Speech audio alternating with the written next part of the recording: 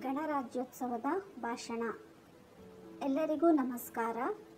ಸಮಸ್ತ ವೀಕ್ಷಕರಿಗೆ ಗಣರಾಜ್ಯೋತ್ಸವ ದಿನಾಚರಣೆಯ ಶುಭಾಶಯಗಳು. ಪ್ರತಿ ವರ್ಷ ಜನವರಿ ಇಪ್ಪತ್ತಾರರಂದು ಗಣರಾಜ್ಯೋತ್ಸವವನ್ನು ಆಚರಿಸುತ್ತೇವೆ. ಇದು ನಮ್ಮ ರಾಷ್ಟ್ರೀಯ ಹಬ್ಬವಾಗಿದೆ.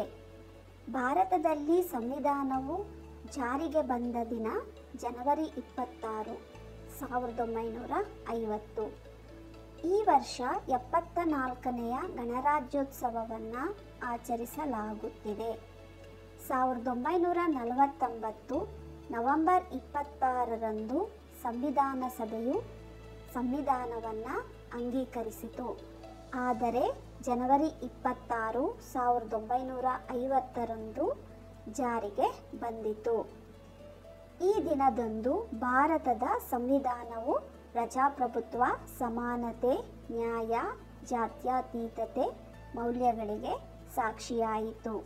ದೇಶದ ಎಲ್ಲ ನಾಗರಿಕರಿಗೆ ಮೂಲಭೂತ ಹಕ್ಕುಗಳನ್ನು ಖಾತರಿಪಡಿಸಿತು.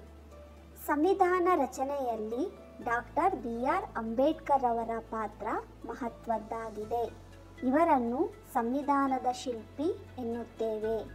ಈ ದಿನದಂದು ಸ್ವಾತಂತ್ರ್ಯಕ್ಕಾಗಿ ಹೋರಾಡಿ ತಮ್ಮ ಪ್ರಾಣಗಳನ್ನು ತ್ಯಾಗ ಮಾಡಿದ ಮಹಾನ್ ವ್ಯಕ್ತಿಗಳನ್ನು ನೆನೆಯುವ ದಿನವಾಗಿದೆ. ಈ ದಿನದಂದು ರಾಷ್ಟ್ರಪತಿಗಳು ಧ್ವಜಾರೋಹಣವನ್ನು ಮಾಡುತ್ತಾರೆ.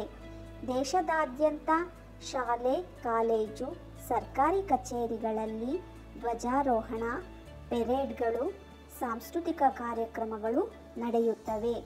ಭಾರತದ ಪ್ರಜೆಗಳು ದೇಶದ ಐಕ್ಯತೆ, ಅಭಿವೃದ್ಧಿ ಮತ್ತು ದೇಶದ ಭವ್ಯ ಭವಿಷ್ಯವನ್ನು ನಿರ್ಮಾಣ ಮಾಡುವಲ್ಲಿ ಪಣತೊಟ್ಟು ದುಡಿಯುವುದು ಅವರ ಕರ್ತವ್ಯ ಎಂದು ಹೇಳುತ್ತಾ ಮತ್ತೊಮ್ಮೆ ಎಲ್ಲರಿಗೂ ಗಣರಾಜ್ಯೋತ್ಸವದ ಶುಭಾಶಯಗಳು.